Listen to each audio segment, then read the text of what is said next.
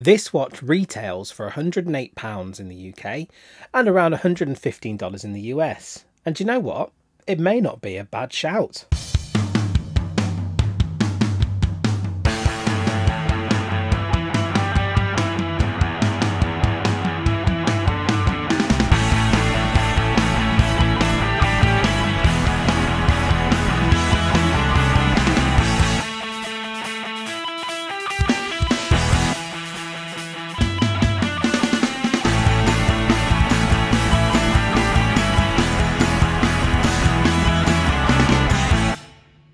Hello, hello everyone. Welcome back to the Vintage Warlock channel. I hope you are all safe and well. And today we are going to be having a look at another AliExpress watch from a brand that are well known on AliExpress, which is the Merkur brand. And this watch retails, as I said before, for just over a hundred pounds or just over a hundred dollars. And you know what? I've had this watch for a while now, for a, a couple of weeks, and I think it's I think it's okay. I think it's pretty good. Now, before we get into the review, I want to just give you guys a very quick disclaimer. This watch has been sent to me for free and I do not have to send it back. This watch was sent to me by the official Merkur store. I'll put links to them in below. These are affiliate links. They won't cost you any extra, but if you do buy the watch, it will give a few pennies, a few schmeckles in the VW purse so I can go out and buy some more watches for review.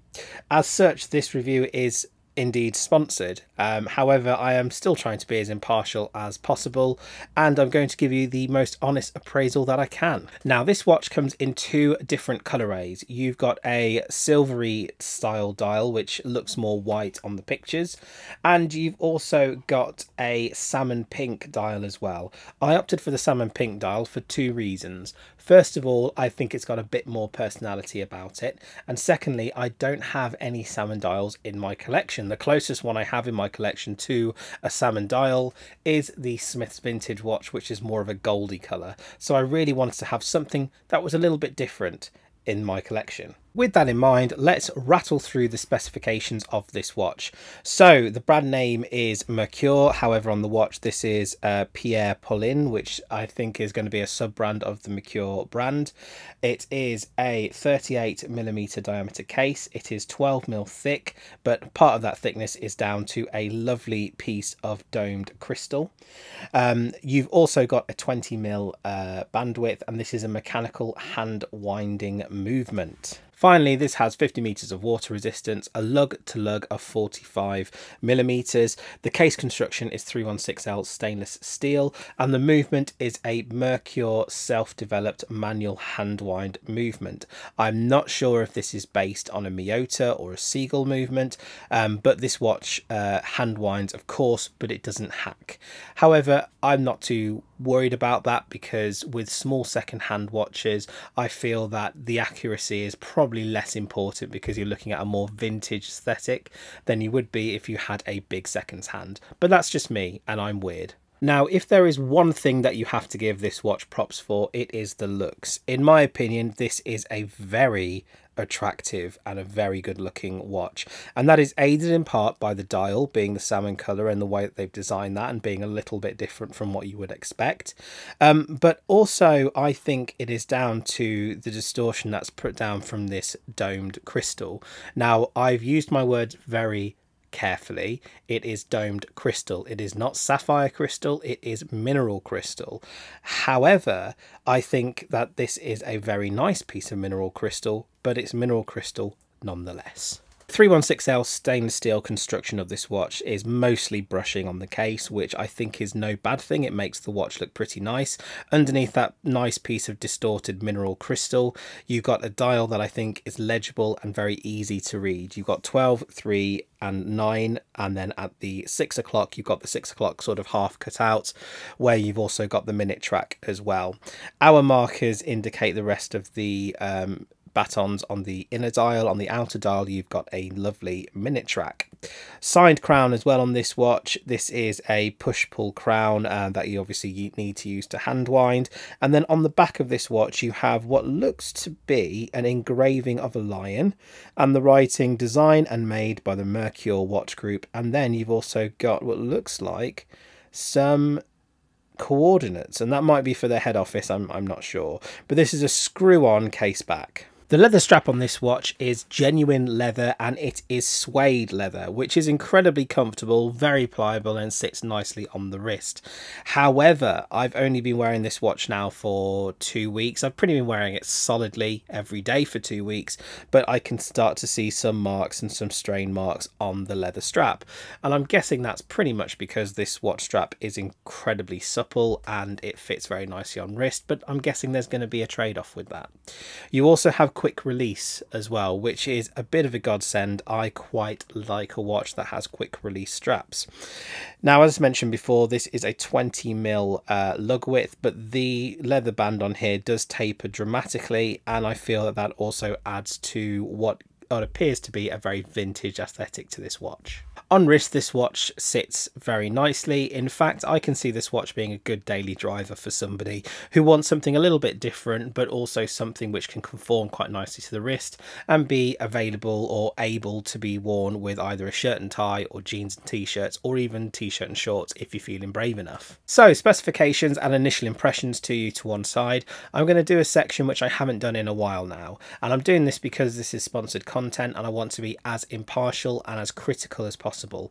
And I'm going to do the section of what I like about this watch and what I'm not so keen on about this watch. Straight out the gate, we're going to have a look at what I like about this watch. So first of all, I think I've made no secret about this during the uh, review. I do like the design of this watch. I think it is a good design. I like the brushing of the case. I like the domed mineral crystal. Yes, it is mineral crystal. It would be much better if it was sapphire. However, the fact that they have domed this mineral crystal, I think just give it a couple of plus points for me. If it was domed sapphire, it would have a massive um, tick in the box, but I think dome mineral still okay. Uh, the signed crown as well, I think is quite nice. There seems to be um, a little bit of more thought that have gone into the design of this watch. And also, I quite like how this wears on the wrist, and I like the salmon dial. I also like the Merkur brand too, and I like the fact that this has an international warranty, uh, which is 24 months. And when the watch arrived, it was in great order, but it comes in a nice case with a big uh, instruction booklet that no one will ever read and some other bits and pieces too including a polishing cloth. Now that we've looked at what I like about this watch let's have a look at what I'm not so keen on and really this is more of a nitpick section than anything else but I'm going to go with it anyway. So the first thing that I'm going to do is we're going to go back to the dial and have a look at two aspects of the dial.